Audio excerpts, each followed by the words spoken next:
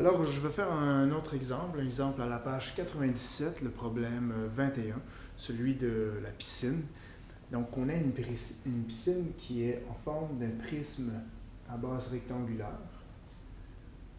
Une très belle piscine. Et euh, nos dimensions de notre piscine sont 12 mètres de largeur, euh, de longueur. Ensuite, en largeur, on a 7 mètres. Et on a une hauteur de 2 euh, mètres. Donc, ne pas mon dessin pour les proportions, là. Mais l'important, c'est d'avoir les bonnes mesures. Et ensuite, on dit que lorsqu'on met de l'eau dans une piscine, mais l'eau ne peut pas atteindre le dessus, parce que c'est sûr, quand on embarque dedans, ça va déborder. Donc, on doit laisser un certain espace. Et l'espace qu'on laisse, c'est 15 cm. Donc, jusqu'à l'eau. Tant que je mets de l'eau, ne peux pas le mettre à barre. Donc, mon eau ici va être euh, à une hauteur de 15 cm du rebord. Donc, ici, ça va être 15 cm. Et moi, je cherche donc la capacité en litres. Je cherche le nombre de litres d'eau euh, que je peux mettre dans cette piscine-là. Donc, comment est-ce qu'on va s'y prendre? Mais en réalité, on va calculer non pas le volume de la piscine, mais le volume de l'eau. Comme si ça faisait un prisme avec ton eau. Et comme si ta piscine euh, était plus là, puis c'était juste le prisme formé par l'eau. Mais pour trouver le volume d'un prisme, c'est toujours la même formule, c'est l'air de la base fois sa hauteur. Ici, la base, on est en termes euh, de rectangle. Ce qui touche la terre, c'est un rectangle. Comment est-ce qu'on fait pour trouver l'air de la base? L'air de la base, vu que c'est un rectangle, c'est la base du rectangle fois la hauteur du rectangle. Donc 12 multiplié par 7. 12 fois 7, euh, ça fait 84. Ici, on est en termes de mètres, donc c'est des mètres carrés.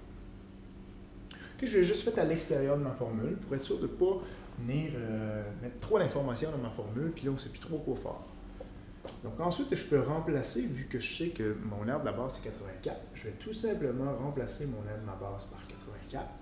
Et la hauteur, ben, la hauteur, c'est pas 2 mètres, c'est 2 mètres moins de 15 cm. Donc, on va faire un astérix rouge, admettons. Ici.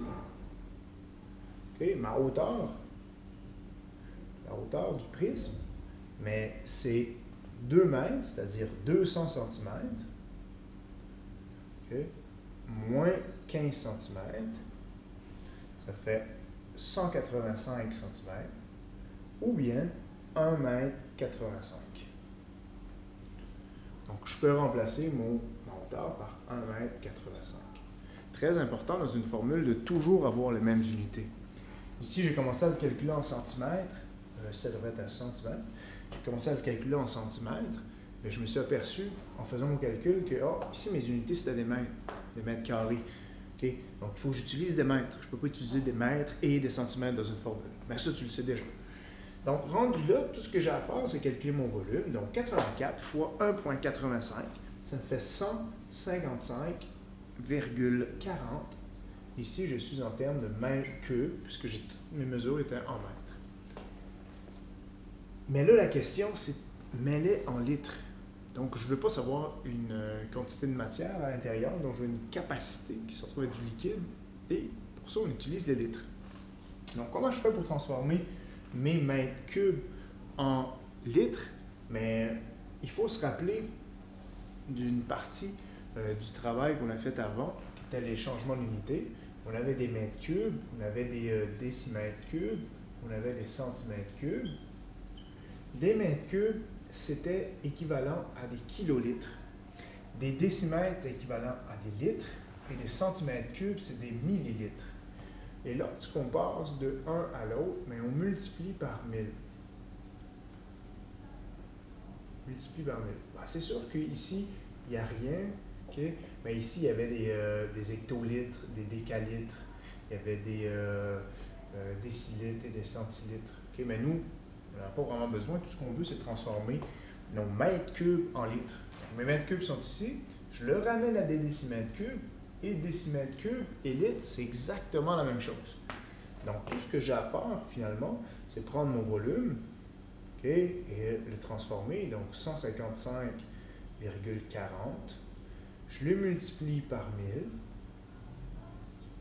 Ça me donne 155 euh, 400. Et ça, c'est des décimètres cubes. Et des décimètres cubes, mais c'est une équivalence. Donc, je peux tout simplement réécrire mon équivalence en termes de litres. Et j'ai trouvé ma réponse. Donc, la capacité totale de la piscine en termes de litres, c'est 155 400 litres.